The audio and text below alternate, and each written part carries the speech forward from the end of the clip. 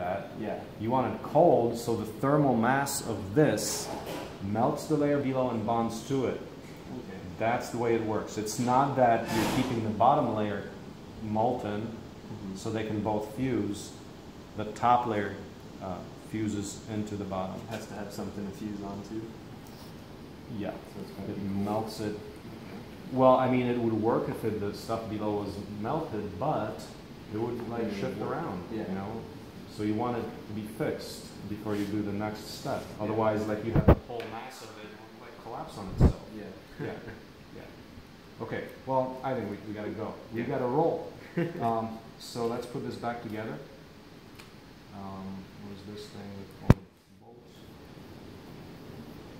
And I want the, the connector where all the wires are, Okay. on the side where all the wires are. That makes sense. Um, no, I'm sorry, I'm going wrong. Go. So this way.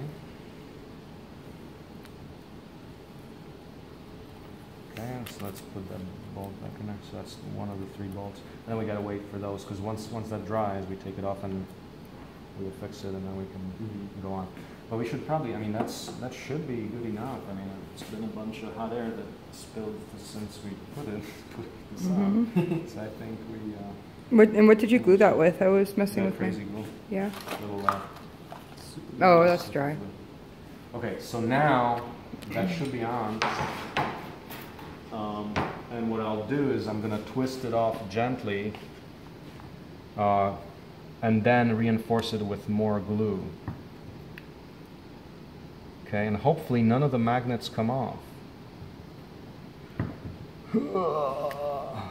Okay, uh, we just gotta do it. We just gotta break it up. Some of them might come off, and hopefully not all of them come off because we Mhm. just gotta do it again. Mm-hmm. Um, see, that's that's good. That's good. That's good.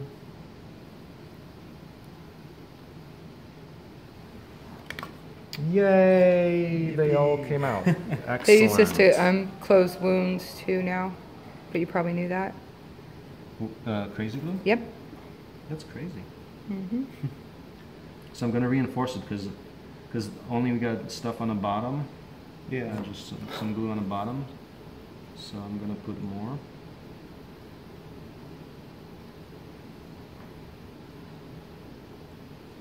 You don't want to just douse it completely because it takes forever to dry.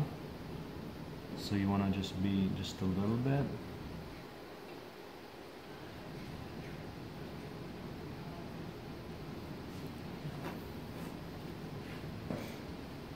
And yeah. And this is the part that, you know, people just didn't want to do this. The gluing part? Yeah, like right now, if if I didn't put it against that surface, as I said, they they would not. You, you got to hold it. You know, you really could do like hold those two and put them together, and then you got to hold them until they dry. Yeah. And you got to do more and more, and it takes time. It just Yeah. because sometimes you know you don't get it glued right, it jumps out. And you gotta start Yeah. over. Yeah, you gotta keep doing it. So I'm gonna keep, do, do a little more until I kind of see that the space is filled in, but not getting too much. Because when you get a lot, the glue just doesn't. But these guys are already like dried into place. You don't need to clamp them again, or do you need to clamp them? No, again? they're already put down. We already clamped it. They're in the correct position. Okay. Now we're just getting the sides. Kinda.